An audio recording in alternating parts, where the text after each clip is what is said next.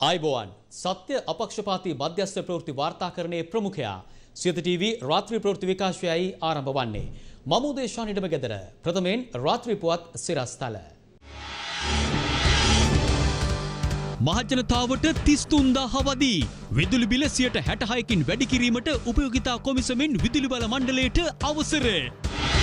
මගේ අනුමැතිය නැතිවයි වැඩි කරලා තියෙන්නේ. මේක නීති විරෝධී. ජනක කියයි. ඒකක තිහට හැටට අනුවට වඩා අඩුවෙන් පාවිච්චි කරන සියලුම කාණ්ඩවල විදුලි බිල සීයට හාරසීගෙන් පමණ වැඩි කිරීමට මැතිවරණයට මුදල් ඉල්ලා කොමිසමෙන් මුදල් අමාත්‍යංශයට තවත් ලිපියක්. කල්දමා ඇත්තේ තැපැල් චන්ද පත්‍රිකා බෙදීම පමණයි තැපැල් චන්දය වෙනස් වෙලා නැහැ. කොමිසම අවධාරණය කරයි. මැතිවරණය වැලැක්වීමට උත්සාහ කරන සියලු දෙනා නීතිය හමුවට ගෙනෙනවා. සජිත් කියයි. මැතිවරණය කල්දැමීමේ නින්දිත උත්සාහය පරාජය කරනවා. අනුර අවධාරණය කරයි. නිරීක්ෂකින්ගේ තුවිරෝධය.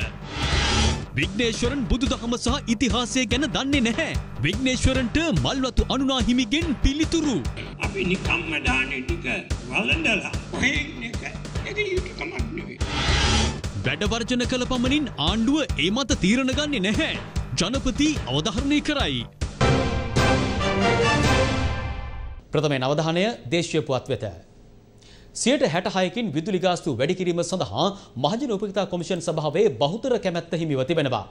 කෙසේ වෙතත් මහජන උපකිතා කොමිෂන් සභාවේ සභාපති ජනක රත්නායක තවමත් ඊට සිය කැමැත්ත පළ කර නැහැ. ඔහු පවසන්නේ මෙය අනීතික ක්‍රියාවක් බවයි. සියයට හැටහයකින් විදුලි ගාස්තු වැඩිකිරීමට කැබිනට් මණ්ඩලය අනුමත කළ යෝජනාව මහජන උපයෝගිතා කොමිසමට ඉදිරිපත් කළේ පසුගිය ජනවාරි දෙවනදායි. ඒ ලංකා විදුලි බල මණ්ඩලයට අමතර රුපියල් බිලියන දෙසිය අසූ හතක ආදායමක් උපයා ගැනීමේ අරමුණින් කොමිසමේ සභහපතිවරයා සහ සාමාජිකින් අතර ඇති වූ මතගැටුම් හමුවේ කොමිසමේ සාමාජිකින් දෙදෙනෙකුද මහජන උපයෝගිතා කොමිසමෙන් ඉල්ලා අස්සුනා. ඉල්ලා අසූ සාමාජිකින් දෙදෙනා වෙනුවට අලුතින් ඩග්ලස් නානායකාර සහ SG සේනාර රත්න යන අය පත් කිරීමට ආණ්ඩුක්‍රම ව්‍යවස්ථාදායක සභාව අනුමත කළා. අනතුරුව අලුතින් පත් වූ කොමිසමේ සාමාජිකින් සහ විදුලි බල මණ්ඩලය අතර විදුලි බිල වැඩි කිරීම ගැන සාකච්ඡාවට කිහිපයක් පැවැත්වුණද එය එකඟතාවයකින් තොරව අවසන් වුණා. අනතුරුව ඊයේ පැවති තවත් සාකච්ඡාවකදී අද දින කොමිසමේ අවසන් තීරණය ප්‍රකාශ කරන බවයි සඳහන් වූයේ. ඒ අනුව සියයට හැටහයකින් විදුලි ගාස්තු වැඩි කිරීමට කැබිනට් මණ්ඩලය අනුමත කළ යෝජනාව කොමිසමේ සාමාජිකින් තෙදෙනා අනුමත කර තිබෙනවා. කෙසේ නමුත් මහජන උපයෝගිතා කොමිසමේ සභහපති ජනක රත්නායක පවසන්නේ එය නීතියට පටහැනි බවයි. මතන් ඉතාම වැරදි ආකාරයට මහජන නීති විරෝධිව මහජන උපිතා කොමිසමේ සාමාජිකයන් තිදෙනෙක් වන චතුරිකා විජේසිංහ ඒවගේම ඩග්ලස් නානයක්කාරගෙන අලුත් සාමාජිකයත් ඒවගේම ST ස්ටේනාත්න කියන අලුතෙන් මාපු සාමාජිකත් එකතු වෙලා ඊට පටහැනිව තීරණයක් කරගෙන තියෙනවා දේශපාලන අධිකාරියේ බලපෑම මත අත්තනෝමතික ලෙස කොමිසමේ සභාපතිවරයා වන මගේ අවසරයෙන් නොමැතිව මේ මගින් බලාපොරොත්තු වෙන්නේ රටේ විදුලි පාරිභෝගිකයන් වෙන ලක්ෂ 50ක් වන අඩු ආදායම් ලබන ඒකක 30ට 60ට 90ට වඩා අඩුවෙන් පාවිච්චි කරන සියලුම කාණ්ඩවල විදුලි බිල 100ට 400කින් පමණ වැඩි කිරීම විදුලි බල පනතටත් මහජන උපිතා කොමිසමේ පනතටත් ඒ වගේම රටේ නීතියටත් අපේ පනතේ තියෙන සියලුම නීති උල්ලංඝනය කරලා මේ වැඩි කරන මේ අසාධාරණ වැඩි කිරීම මේක ක්‍රමවේදයට පටහැනි නීතියට පටහැනි මෙලෙස නව විදුලි ගාස්තු සංශෝධනයට අනුව ගෘහස්ථ කාණ්ඩය යටතේ මුල් ඒකක 30ට අදාළව දැනට එක් ඒකකයක් සඳහා අය කරන රුපියල් 8ක ගාස්තුව රුපියල් 30ක් දක්වා වැඩි කිරීමට නියමිතයි. එමෙන්ම ඒකක 31 සිට 60 දක්වා දැනට එක් ඒකකයකට අයකරන රුපියල් දහයක ගාස්තුව රුපියල් තිස් හතක් දක්වා වැඩිකිරීමටත් තීරණය කර තිබෙනවා. ඒකක හැට එකේ සිට අනුව දක්වා කාණ්ඩේ යටතේ දැනට අයකරන රුපියල් දහසේක ගාස්තුව රුපියල් හතලිස් දෙක දක්වා වැඩිකිරීමටයි යෝජනා වී ඇත්තේ. එමෙන්ම ඒක අනුව එකේ සිට ඒකක එකසේ විස්ස දක්වා කාණ්ඩයට දැනට අයකරන රුපියල් පණහක ගාස්තුවේ කිසිදු වෙනසක් සිදු කරන්නේ නැති බවද සඳහන්. තවද ඒකක එකසිය විසි එකේ සිට එකසි අසූ දක්වා කාණ්ඩයටද අයකරන රුපියල් පණහක ගස්තුව නොවෙනස් වන බවයි සඳහන් වන්නේ. එමෙන්ම ඒකක එකසි අසු එකට වැඩි සෑම ඒකකයක් සඳහාම දැනට අයකරන රුපියල් හැත්තෑ පහක ගස්තුවද වෙනසක් සිදු කර නැහැ. මෙ අතර ස්ථාවර ගාස්තුද ඉහළ යන අතර යනුව මුල්ලේකක තිහ සඳහා ස්ථාවර ගාස්තුව රුපියල් හාරසිය දක්වාත් වැඩි කෙරෙනු ඇති. ඒකක තිස්ස එකේ සිට හැට දක්වා කාණ්ඩේ ස්ථාවර ගාස්තු රුපියල් පන්සිය පණහ දක්වා වැඩි කිරීමට නියමිතයි. එමෙන්ම ඒකක හැට එකේ සිට අනුව දක්වා කාණ්ඩේ ස්ථාවර ගාස්තුව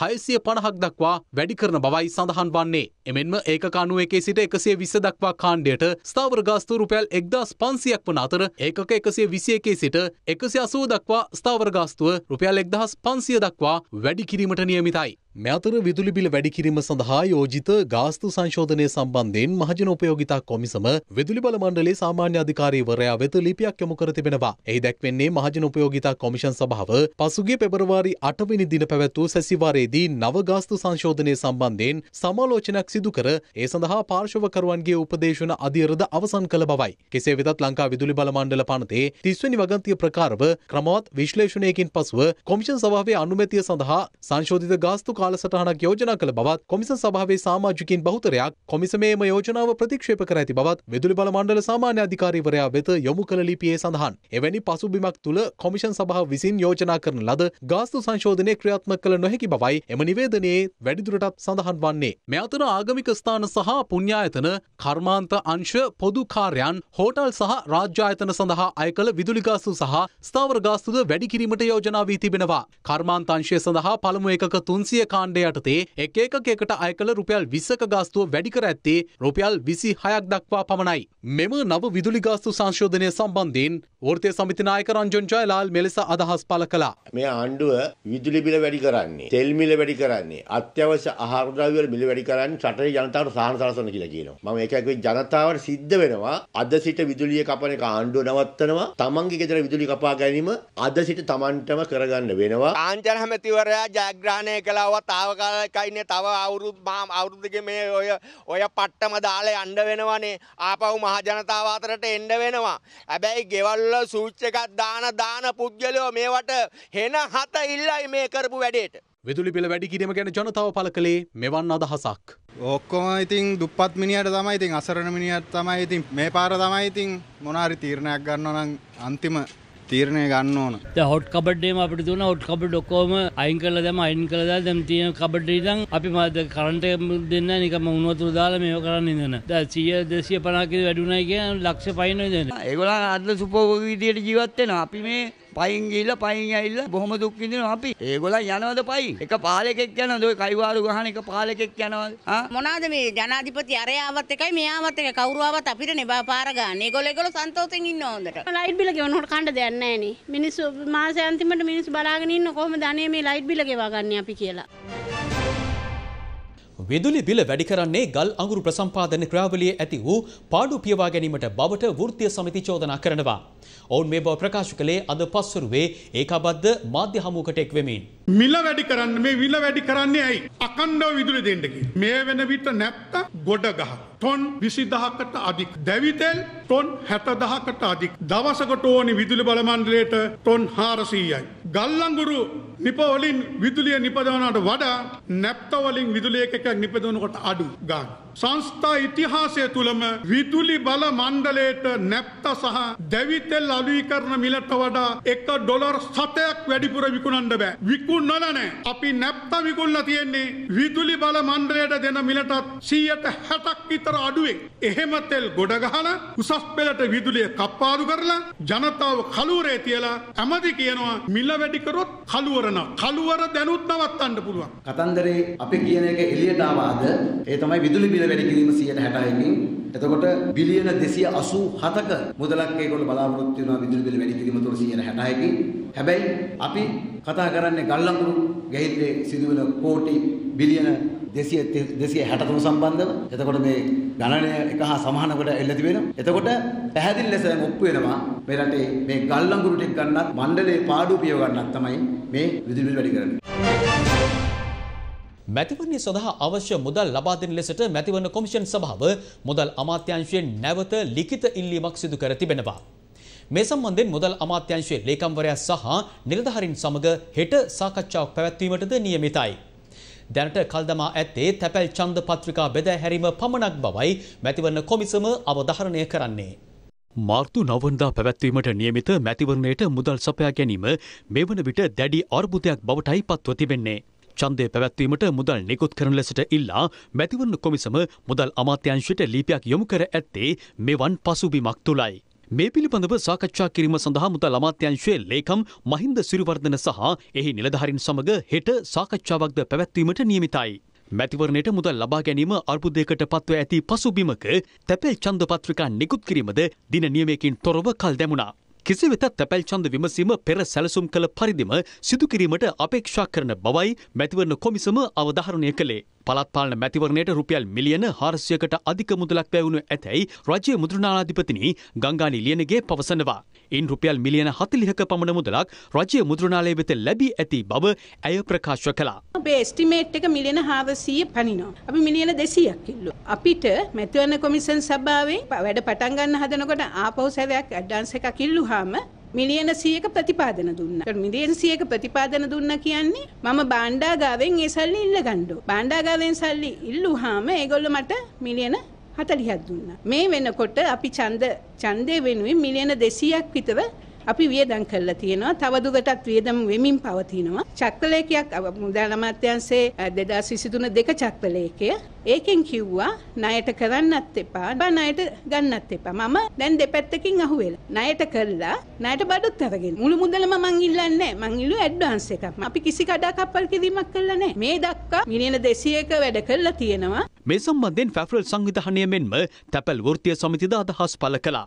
මේ වෙනත් වෙනත් ආයතන අතර ගැටුම් බාහිරට පෙනුනත් ඇත්ත ප්‍රශ්නය ආණ්ඩුව මුදල් නිකුත් නොකිරීම. එක්කෝ මැතිවරණ කොමිසම් සභාවට ඔවුන් ඉල්ලන මුදල් ප්‍රමාණය ලබා දෙන්නට අවශ්‍යයි. එහෙම නැත්නම් ඔවුන් නිකුත් කරලා තිබෙන චක්‍රලේඛවලින් අත්‍යවශ්‍ය සේවා ප්‍රමුඛ සේවා හැටියට මැතිවරණ ක්‍රියාවලියත් ඇතුළත් කරන්නට ඕන. ජාත්‍යන්තර මූල්‍ය අරමුදලේ සහාය අපි අපේක්ෂා කරනවා. ඒ වගේම රට තුළ රටෙන් බැහැරවින් අපේ ශ්‍රී ලාංකිකන්ගේ විශ්වාසයත් අපිට අවශ්‍ය වෙනවා. ඒ නිසා ජාත්‍යන්තර ප්‍රජාවගේ සහාය ගන්න නම් රටේ ප්‍රජාතන්ත්‍රවාදය සුරක්ෂිත කරන්නට අවශ්‍යයි. මුලින් මුදල් ගෙවලා රාජ්‍ය සේවා ඉටු කර ගන්නා ක්‍රමයක් අපි දන්නේ නැහැ. සියලුම සේවාවන් ඉටු කරාට පස්සේ තමයි ඒ ගණන් හිලව් හදලා ඒ નિયમિત ගෙවීම් සියල්ල ගණනය කරලා සේවාව නිම කරාට පස්සේ තමයි ආය කිරීම සිද්ධ කරන්නේ. මැතිවරණ ප්‍රචණ්ඩ ක්‍රියා නිරීක්ෂණ මධ්‍යස්ථානයේද තැපැල් ඡන්ද නිකුත් කිරීම කල් දැමීම සම්බන්ධයෙන් අවධානය යොමු කරන බව නිවේදනයක් නිකුත් කරමින් සඳහන් කළා. මැතිවරණය පැවැත්වීමට සුදුසු පරිසරයක් නිර්මාණය කිරීම විධායකයේ ව්‍යවස්ථාපිත වගකීම බවද ඔවුන් පෙන්වා දෙනවා.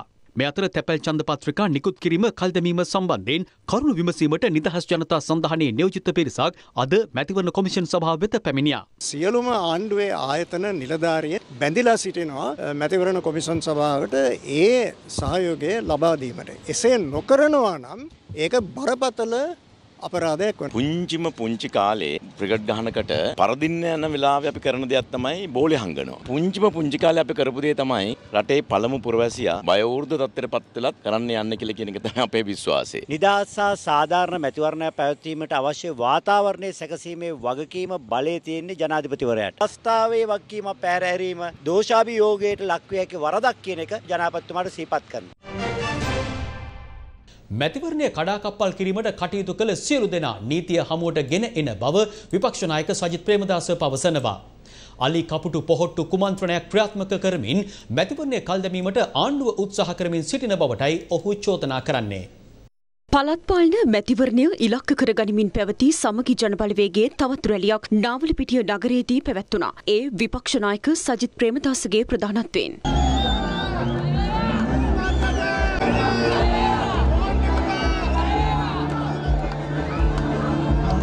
අද රටේ ක්‍රියාත්මක වෙන්නේ අලි කපුටු පොහොට්ටු කුමන්ත්‍රණයක් මේ ඡන්දේ නතර කරන්න. මේක මරු ඡන්දයක් නේ. අපිට කියනවා තැපැල් ඡන්ද පත්‍රිකා බෙදීම අහවල් දිනේ පටන් ගන්නවලු. තැපැල් ඡන්දේ අහවල් දින තුනේ ක්‍රියාත්මක වෙනවලු. ආයේ වෙලාවක කියනවා නැහැයි කියලා. අද උදේ කියනවා තියෙනවායි කියලා. මං අහන්න කැමතියි. මේ රටේ ජනතාවගේ සර්ව ජන ඡන්ද බලයට කවුද මේ අත තබන්නේ? කවුද මේ රටේ ජනතාවගේ මූලික අයිතිය අහිමි කරන්නට කටයුතු කරන්නේ? බොහොම පැහැදිලි. ජනාධිපතිවරයා අග්‍රාමාත්‍යවරයා ප්‍රමුඛ මේ රජයම වග කියන්නට ඕන මම පැහැදිලිව කියනවා අනිවාර්යෙන්ම මැතිවරණ නවත්තන මේ දේශපාලන කුමන්ත්‍රණයට එකතු වෙන සියලුම දෙනා නීතිය හමුවට ගෙනේනවා ගෙනේනවාමයි. එතකොට බොහොම පැහැදිලි ඒ වැරදි වැඩේ කරපු අයට උත්තර බඳින්න සිද්ධ වෙනවා. ආණ්ඩුව මැතිවරණය කල් දැමීමට දරන නින්දිත උත්සාහය පරාජයට පත් කරන බව ජාතික ජනබලවේගේ නායක පාර්ලිමේන්තු මන්ත්‍රී අනුර කුමාර දිසානායක පවසනවා. මැතිවරණ කඩා කප්පල්කාරයෙකු බවට ජනාධිපති රනිල් වික්‍රමසිංහ පත්ව ඇති බවද ඔහු පවසනවා. ඡන්ද ව්‍යාපාරය ඡන්දේ පැවැත්වීම කඩාකප්පල් කිරීම සඳහා රනිල් වික්‍රමසිංහ තමන්ගේ හස්තේ යොදවලා තිබෙනවා. කඩාකප්පල් කිරීමේ ප්‍රමුඛතාවයට ඇවිල්ලා තිබෙන්නේ මුද්‍රණාලය අධිපතිනිය සහ භාණ්ඩාගාර ලේකම්වරයා. අපි මුද්‍රණාලය අධිපතිනියටත් පොලිස්පතිවරයාටත් භාණ්ඩාගාර ලේකම්වරයාටත් සහ ඡන්ද කඩාකප්පල් කිරීම සඳහා ප්‍රයත්න දරන සියලු නිලධාරීන්ට අපි කියන්නේ ඔබ බැඳී සිටින මේ රටේ ආණ්ඩු ක්‍රම වස්තාව රකින්න ජනතාවට වගවීමට අන්න ඒ වගවීමට අනුව කටයුතු කරන්න. එහෙම කටයුතු කිරීමේදී ඔයගලන්ට කවර හෝ පාලනයකින් පාලකෙක් විසින් අසාධාරණයට අකටයුත්තකට ලක් කරනවා නම් අපි ඔබ වෙනින් පෙනී හිටියි. ඔබ ආරක්ෂා කරන්න අපි පෙනී. හැබැයි ඔබ ඒ වෙනුවට පාලකයාගේ මැතිවරණ කඩා කප්පල් කිරීම සඳහා ප්‍රයත්නට නම් ඔබ යෙදෙන්නේ අපි ඔබට විරුද්ධව නීතිමය ක්‍රියාමාර්ග වලට අවතීර්ණනවා. රනිල් වික්‍රමසිංහ මැතිවරණ කඩා කප්පල් කිරීමේ කඩා කප්පල්කාරයෙක්ද? අපේ රටේ ඡන්ද කල්තබ ඉතිහාසයක් තිබෙනවා. ඒක ඉස්ලාමත් දරුණු ඛේද වාචකකින් තමයි අපේ රට කෙලවර වෙන්න සිද්ධ වෙලා තිබෙන්නේ. රනිල් වික්‍රමසිංහ යලි යලි උත්සාහ කරන්නේ මෙය නැවත නැවත ප්‍රතිනිර්මාණය කරන්න. අපි ඒක පරාද කරන්න ලෑස්ති. රනිල් වික්‍රමසිංහ කපටි කොටියා අපිට ආරාධනා කරනවා එයාගේ ගුහාව ඇතුළට එන්න කියලා. අපි ඒවට අහුවෙන්නේ නෑ. මත තියාගන්න. එයාගේ ගුහාව ඇතුළට එන්න. ගැටුමක් ඇති කරන්න. ප්‍රචණ්ඩකාරී තත්ත්වයක් නිර්මාණය කරන්න. කඩාකප්පල්කාරී තත්ත්වයක් නිර්මාණය කරන්න. මේක තමයි රනිල් වික්‍රමසිංහගේ පිටිය. රනිල් වික්‍රමසිංහට මහ ජනතාවත් එක්ක දේශපාලනය කරන්න පිටියක් නෑද. රනිල් වික්‍රමසිංහ කල්පනා කරන තමන්ට තියෙන රාජ්‍ය මර්ධන යාන්ත්‍රණය පොලිසියෝ හමුදාව යොදාගෙන ඒ පිටියට අපිව කැඳවුණා. මේක තමයි රනිල්ගේ උපක්‍රමය. මැතිවරණය සම්බන්ධයෙන් ඇසුණු කතා දැන්. මැතිවරණයක් තියන්න බයයි. මේ අය හැදුවත් අද කල් දාන ඊයේ. නමුත් ඊයේ රාත්‍රියේ තානාපතිවරු ආණ්ඩුවට දුරකථන ලැබෙමින් දීලා කිව්වා ඡන්දේ තියන්නේ නැත්නම් ආධාර නැහැ කියලා. අනිවාර්යෙන් මැතිවරණ කොමිෂන් සභාව ගංගානී ලියනගේ මැතිනියව කැඳවන්න ඕනේ. එතකොට අහන්න ඕනේ ඇයි මේක කරන්නේ? ආණ්ඩුවට නැත්තේ සල්ලි නෙවෙයි ආණ්ඩුවට නැත්තේ ඡන්ද.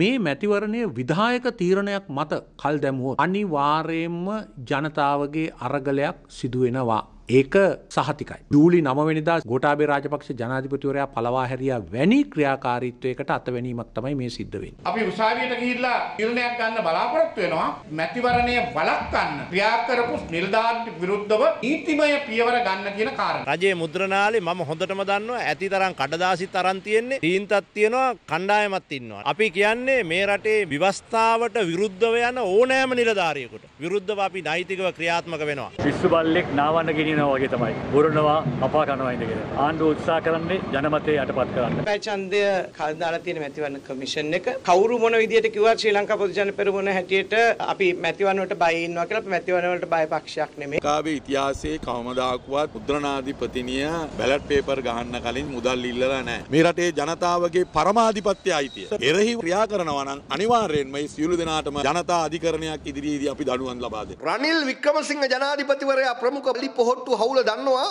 මේ මැතිවරණය තිබ්බොත් ආණ්ඩුව කුජ්ජ කුජීතයි කියලා දන්නවා. අනිල් වික්‍රමසිංහ ජනාධිපතිවරයාට ඕනේ ජනාධිපතිවරණය. ඊට දවසේ රනිල් වික්‍රමසිංහ මහත්තයා මේ ප්‍රජාතන්ත්‍රවාදී හකුලලා මර්ධනයකට යන්න පුළුවන්. මේ රනිල් කරන්නේ මැච් එක පරදින්න යද්දි බෝලේ හංගනවා වගේ වැඩක්. මැතිවරණේ කල් දාන්න මොනවා හරි උඩර වැට්ටියක් දාන්න. ඊට පස්සේ වෙන අර ඉස්සර නඩු තීන්දුවක තිබුණා වගේ වංගෙඩි මිනි මැරුවා කියලා ඔප්පු වෙන විදිහට තමයි තියෙන්නේ. දැන් කිසි කෙනෙක් වකින් බාර ගන්න කවුද මැතිවරණේ කල් දැම්මේ කවුද? මේ රටේ වැඩ කරන පම් වෘත්තීය සමිති බෞජන සංවිධාන සම්පූර්ණයෙන්ම මේ මැතිවරණය කල්දැමීමේ කුමන්ත්‍රණයට එරෙහිව නැගිටිනවා කියන කාරණාව අපි කියන්න ඕනේ. මැතිවරණ දිනා ගැනීම වෙනුවෙන් අපේ අරගලය පෙරට යනවා කියන කාරණාව අපි අවධාරණය කරලා කියන්න කැමතියි.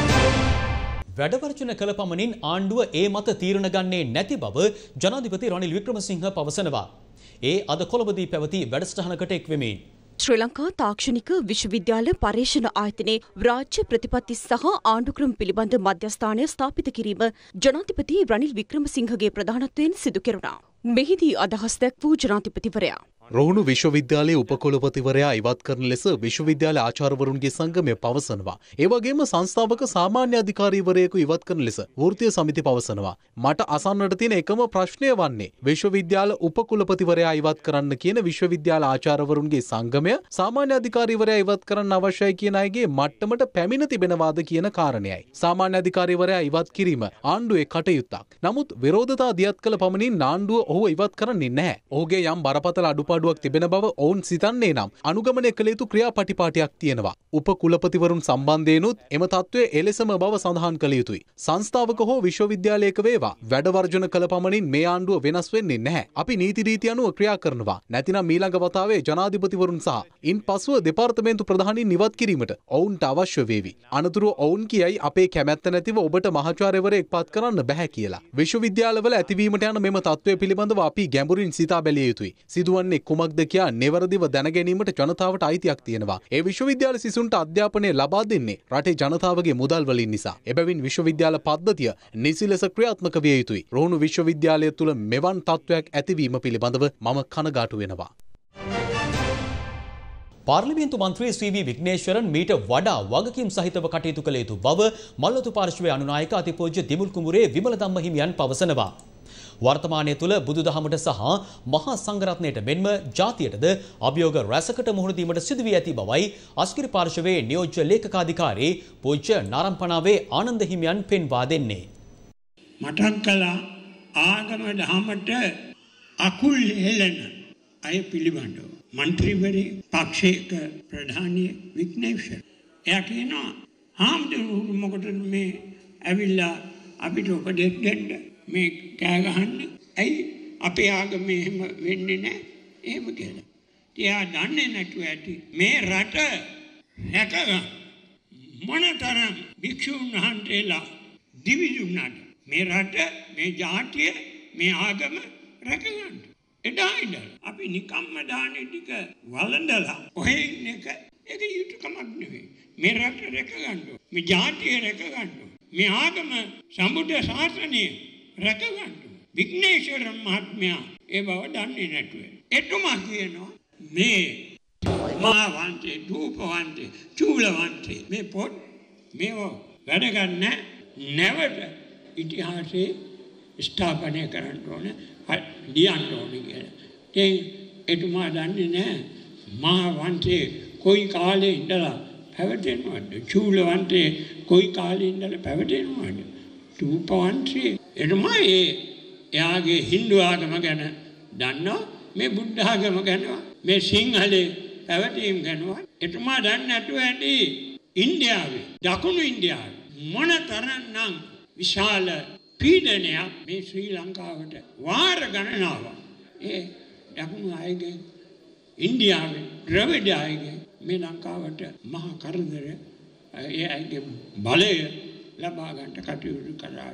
මේවා ගැන එතුමා හිතන්න ඕන. එතුමාත් විනිශ්චය කරුවේ. එතුමා පසුව දේශපාලනයට මන්ත්‍රී වුණා. පක්ෂයක නායකත්වයේ දරුවා. ඊටත් වැඩිය වයෝවෘද්ධ කෙනෙක්. එහෙම කෙනෙක් මේ විදිහට කතා කිරීම පිළිබඳව අපි කනගාටුවට පත් වෙනවා භික්ෂුන් වහන්සේලා වශයෙන්. මේ යුගය ශාසනික වශයෙන් කල්පනා කරනකොට බොහොම අසුබ කාලයක්. අද හුඟක් සැලසුම් සහගතව බෞද්ධ ආගමට විවිධ තර්ජන, විවිධ අභියෝග එල්ල වෙන යුගයක්. මේ රටේ වටිනා සිද්ධාස්ථාන, ඒ වගේම ශ්‍රේෂ්ඨ සංඝ පිටුන් වහන්සේලා මේ රටේ බෞද්ධ ප්‍රභූන් අද අතිශය විවේචනයට, අපහාසයට, ගර්හාවට, අවඥාවට ලක් කරන යුගයක්. මේකේ පිටිපස්සේ අපිට පේනවා කිසියම් සංවිධානාත්මක බලවේගයක් ක්‍රියාත්මක වෙන්නේ. මේක අද ඊයේ ඇති වෙච්ච දෙයක් නෙමෙයි. අපිට ඉතිහාසය අමතක කරන්න බෑ. විවිධ උපක්‍රම යොදලා තියෙනවා. සමහරලාට රාජ්‍ය නිලතල දීලා, නම්බුනාම දීලා,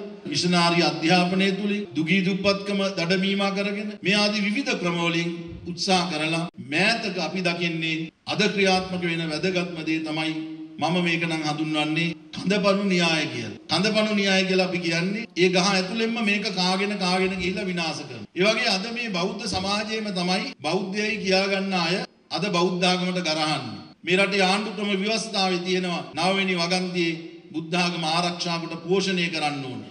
ඒ නිසා අපිට වර්තමානයේ වගකීමක් තියෙනවා මෙවන් කටයුතු සම්බන්ධව වහා විමර්ශනයක් කරලා මේ වගේ සැබෑ සුළමුල හොයලා මොවුන් සම්බන්ධව නීත්‍ය අනුකූලව කටයුතු කරන එක.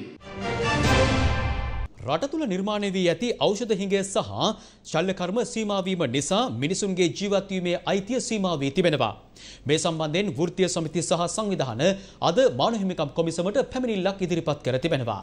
පුද්ගලයෙකුගේ ජීවත් වීමට තියෙන අයිතිය මුදල් තියෙනවද නැද්ද කියන එක මත රඳා පැවතීම නිසා අපේ රටේ ආණ්ඩුක්‍රම ව්‍යවස්ථාව අනුව සියලුම පුද්ගලයන්ට සියලුම පුරවැසියන්ට සමාන ලෙස සැලකිය යුතුයි කියන මූලධර්මය උල්ලංඝනය වීම යටතේ මානව හිමිකම් කුළු සභාවෙන් අපි ඉල්ලීමක් කරා වහම මේ ගැන පරීක්ෂණයක් පවත්වලා රජයට සෞඛ්‍ය අමාත්‍යාංශයට ඖෂධ හිඟිය මැඩ පැවැත්වීම සඳහා ශල්‍ය කර්ම සඳහා පනවා තියෙන මේ සීමා ලීල් කළා මේ රටේ හැම පුද්ගලයෙකුටම සමාන විදියට වෛද්‍ය ප්‍රතිකාර ලබා ගන්න පහසුකම් ලබා දෙන්න ඕන කියන එක. හැබැයි රෝහල් සේවා පවත්වාගෙන යනකොට මේ අත්‍යවශ්‍ය සේවා කියන එක ආයතනෙන් ආයතන වගේම රෝහලක ඒකකයෙන් වාටුම් වාටුවරත් වෙනස්. අපි උදාහරණයක් ගත්තොත් රෝහලේ හදිසි ප්‍රතිකාර ඒකකේ ගත්තොත් ETU එක. ETU එකක ට්‍රොලි එක රෝදයක් කැඩලා තිබ්බොත් මේ දවස්වල තියෙන විදිහට මේක රෝහලේ අවශ්‍යතාවය කියලා ගත්තොත් මේක ප්‍රමුඛතා ලයිස්තුවට එන්නේ නැහැ. මේ වන විට මේ සෞඛ්‍ය සේවාව තුළ උද්ගතලා තියෙන කාරණාව හුදු බෙහෙත් හේත් සහ උපකරණ පමණක්ම නෙවෙයි. මේ සියල්ල එකිනෙකට ගැට ගැහිලා ගිහලා සමස්ත සෞඛ්‍ය පද්ධතියම දුර්වල වෙමින් තියෙනවා. මේ ඖෂධ සහ මිලදී ගැනීම සම්බන්ධ කාරණාවේ. තාමත් නාස්ති සහ දූෂණය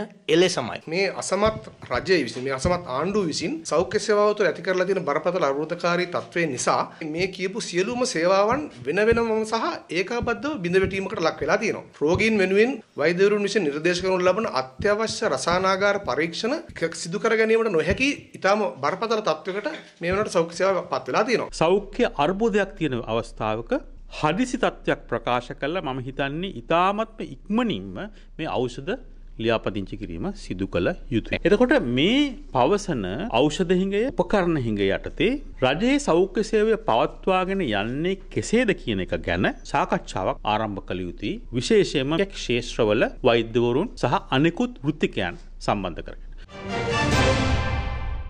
රටවටා පුවත් කිහිපයක් දැන් කෙටියෙන්. ආරක්ෂක හේතුන් මත කොළඹ පිහිටි ඉන්දිය වීසා මධ්‍යස්ථානය නැවත දැනුම් දෙනතුරු වසා දමා ඇති බව ඉන්දිය මහකොමසාරිස් කාර්යාලය නිවේදනය කර තිබෙනවා. වීසා හමුවීම් සඳහා නිකුත් කර තිබූ වේලාවන් වෙනස් වන බවද එම නිවේදනයේ සඳහන්. හදිසි කන්සියුල සහ වීසා කරුණු සම්බන්ධයෙන් විමසීම සඳහා හදිසි දුරකථන අංකයක්ද හඳුන්වා දී තිබෙනවා. එම දුරකථන අංකය වන්නේ 0112 43 35 83. හැටන් රුවන්පුර ජනපදයට ආසන්නේ පිහිටි ඉලුක් සහිත පෞද්ගලික ඉඩමක අද පසුරුවේ ගින්නක් හටගෙන තිබෙනවා. අක්කර දහයක පමණ භූමි ප්‍රමාණයක් ගින්නෙන් විනාශ වී ඇති බවයි අප වාර්තාකරු සඳහන් කළේ. වියලි කාල්ගුණයත් සමග ඉඩමට කිසියම් පිරිසක් ගිනි තබා ඇති බවටයි ප්‍රදේශවාසීන් සැක පළ කරන්නේ. ශ්‍රී ලංකා ගුවන් හමුදාවට වසර හැත්තෑ දෙකක් සපිරීම නිමිති කර ගනිමින් කළුතර ශික්ෂණ මහරෝහලේ පළමු වාට්ටුව නවීකරණය කර දී තිබෙනවා. එය රෝහලට බාරදීම ගුවන් හමුදාපති එයාමාශල් සුදර්ශන පතිරණගේ ප්‍රධානත්වයෙන් සිදු කෙරුණා. එම පුවතත් සමගින් අප ඔබෙන් සමුගන්නවා රාත්‍රී ප්‍රවෘත්ති විකාශයෙන් අප යළි හමුවන්න හිට උදෑසන හයට උදෑසන ප්‍රවෘත්ති සමකින්. ඔබට සුවදායි රාත්‍රයා. දෙනපතා අලුත් වීඩියෝ සහ ප්‍රවෘති නැරමීමට ඉහත බටන එක කලික් කර සියත TV සබස්ක්‍රයිබ් කරන්න.